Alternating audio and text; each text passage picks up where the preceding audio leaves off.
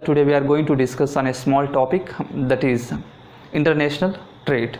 International trade is the exchange of goods, services and capital across the international borders.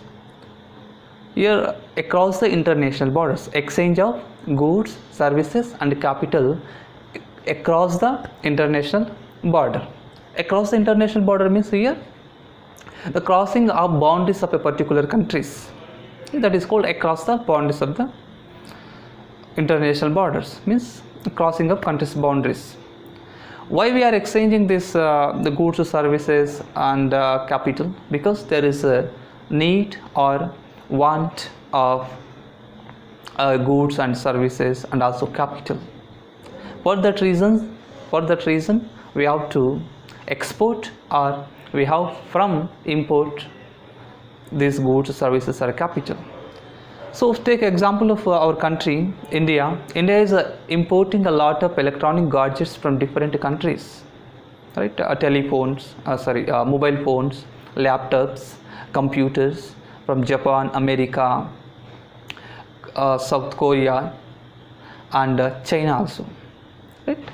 So there, there is a need because india is a need to use these electronic gadgets. For that reason we are we are importing all these goods and also we are importing services like uh, take example of that uh, um, uh, bullet train right? Uh, well the bullet train is one of the projects uh, which is uh, uh, constructing by government of india. So we are importing this knowledge from japan right? So and also we are inviting capital from different uh, investors right? Uh, recently prime minister of india has conducted a meeting with uh, american investors. And uh, prime minister invited uh, the, investors of america to invest their amount in our country so we are uh, so india is need capital for that reason we are uh, importing all these goods services and also capital right a few of the countries in the world are investing their amount in the African countries to develop their infrastructural facilities. Right? A few of the countries are also importing from India. Like, uh, uh, take example of uh, hydroxychloroquine. Uh, is uh, export uh, we exported this hydroxychloroquine to the America, right?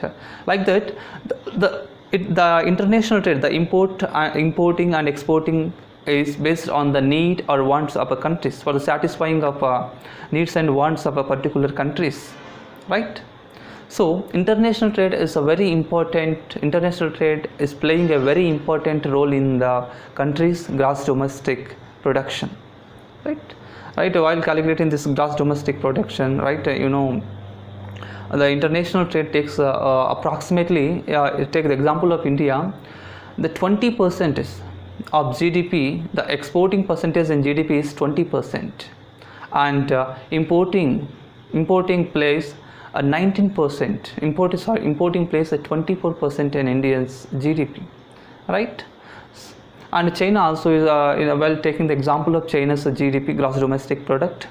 Uh, the 20 percentage of exports and 19 percentage of imports are there in uh, China's gross domestic products.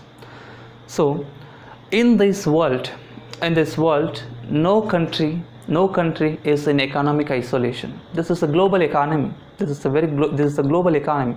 So every country must be in the global economy so no country is in economic isolation. If a country is in economic isolation the country will lose a lot of technology a lot of services right? A lot of uh, uh, the future benefits to their citizens. So uh, this international trade is playing a very uh, vital role to develop a country and to develop the knowledge of their uh, students right?